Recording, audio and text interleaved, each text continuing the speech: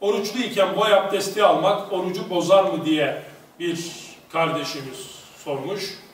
Boy abdesti almak orucu bozmaz. Gusül alınabilir. Hatta ihtilam olunduğu zaman da rüya yoluyla birlikte mutlaka gusül abdesti e, almak gerekir.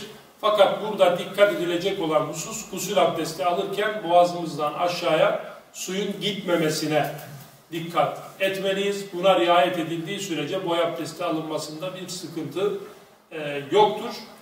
E, ancak oruçlu olduğumuz aklımızdayken aklımızda oruçlu olduğumuzu biliyoruz. Gusül almamız gerekti. Gusül alırken boğazımızdan aşağıya su kaçtıysa bu hataen kaçmış demektir. O zaman orucumuz bozulur ve güne gün olarak, bir gün olarak bunu kaza etmemiz gerekir. Ama aklımızda değildi, unutmuştuk.